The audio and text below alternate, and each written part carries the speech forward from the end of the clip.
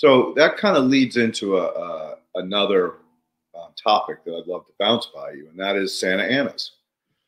So for those in the audience who don't understand what a Santa Ana is, it's basically a wind that comes off the desert to the mm. east of me um, that picks up a tremendous amount of energy, uh, ionic energy, um, as it travels against the normal wind pattern down the canyons. Um, and it's extremely dry. So you can get single digit uh, humidity, which basically in some of the stronger ones, um, we've actually like seen a plant leaf and you go out and you squeeze it and it crushes it. It just, I mean, it literally dries it out on the, on the plant within a matter of hours. Now that's another form of energy. Is that something that you can speak on? Um, well, the atmosphere is very interesting, and uh, yeah, they have there are certain uh, phenomenon like that which can be pretty deadly and dangerous if things like a wildfire starts as a result. Um, but there's a lot that we don't understand about our atmosphere, um, or at least some of the people are studying these things are they could perhaps do a better job being multidisciplinary so like they study maybe up here, but they should also study here. And um, what's interesting about the atmosphere is that it's able to um, form these distinct zones much more easily than let's say like uh, the Earth or the oceans, where things are a little bit more mixed and fluid or like they can evolve very quickly. The atmosphere can evolve very quickly, whereas the Earth moves very slowly in terms of its evolution, geologic time. I mean, we have earthquakes, volcanoes, but in general, the geology doesn't change much.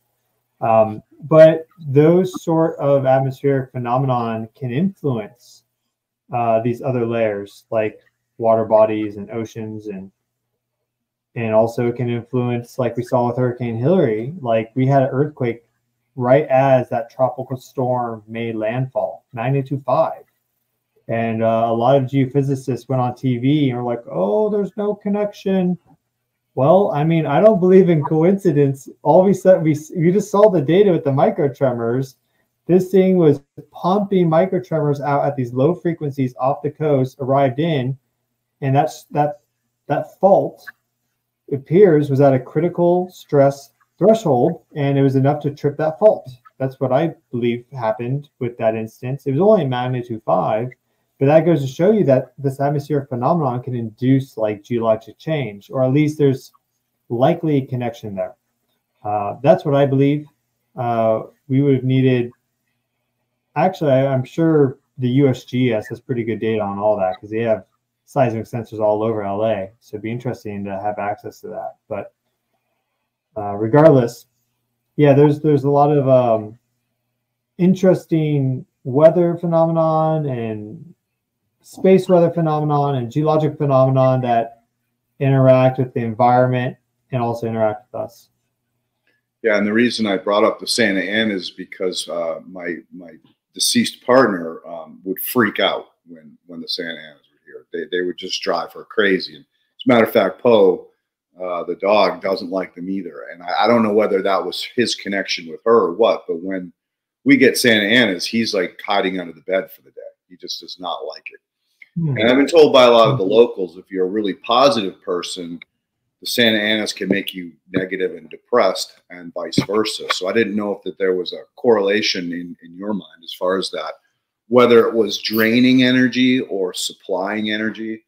Um, but well, it definitely, definitely makes sense that it transfers into the soil as well. Well, I can comment that on that a little bit more. Um, there's something interesting. I kind of I mean, sometimes you know things and then you come to kind of new realizations about them. Uh, and I had that happen a few days ago. So, way up in our atmosphere, we have the ionosphere that starts about 50, 100 kilometers up, and it is a weak plasma.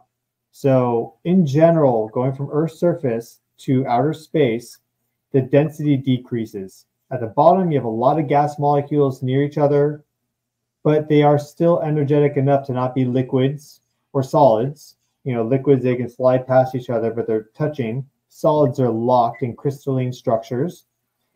And uh, with gases, you know, they're they're able to move freely, and the more energetic the gas, the more they spread out.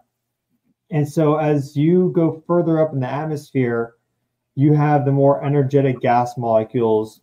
They need more space. They have more energy to push against gravity, you could say. So they go further and further up. And so the ionosphere is the section of the atmosphere going from, let's say, 50 to 1,000 kilometers that is energetic enough to be a weak plasma. Not all the molecules are plasma ions. They're not energetic enough to be plasma, but some of them are. And then if you get beyond the ionosphere, you actually get to the radiation belts. That those are all plasma ions. These are very energetic. The molecules can actually split apart, just protons, just electrons, just oxygen ions or whatever.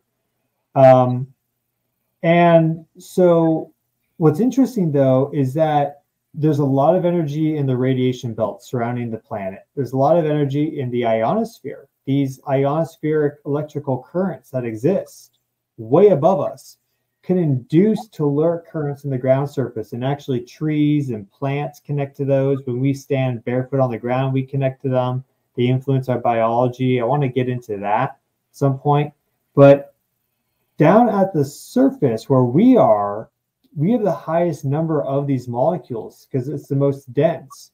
So in a theoretical situation where you have enough energy that gets put into the lower atmosphere it could be the the strongest and most powerful energetic layer of them all because it has more molecules that could get ionized.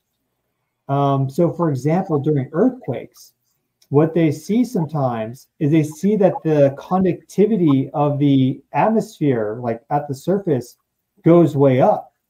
Specifically, uh, they had measurements with an earthquake at Alum Rock, which is near San Jose in the Bay Area, so just south of San Francisco. And there's the Calaveras Fault there. I used to live just nearby. I've been there. There's all these interesting hydrothermal uh, things you can see there and vents and stuff. And there was an earthquake that occurred there. It was like a magnitude five something. Uh, and before that earthquake, all the conductivity sensors of the South Bay, they started to go up dramatically. And then they, some of them actually went off the charts, like the actual measurement scale, because they're not used to measuring conductivities of the air that high. It's so rare, or they maybe they didn't think it was possible, or whatever. It actually went off the charts for like 12 hours, and then the earthquake occurred at the middle of that zo- that blackout zone. So what was happening was this earthquake and the ionosphere conjunction were basically pushing energy into the lower atmosphere, making it more conductive. What's theorized is that uh, an electric circuit was able to be connected as a result of that, and then the once the electric circuit was able to form, that's when you get a, a higher, uh, you know, a higher flow of current, and that is able then perhaps trigger that fault to rupture because it needed enough juice to kind of break those bonds at the very fault seam. And then you get the rupture, and that can actually release energy too. So it gets complicated.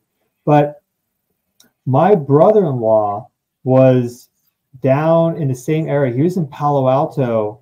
This was last year. It was a full moon, October 25th, I think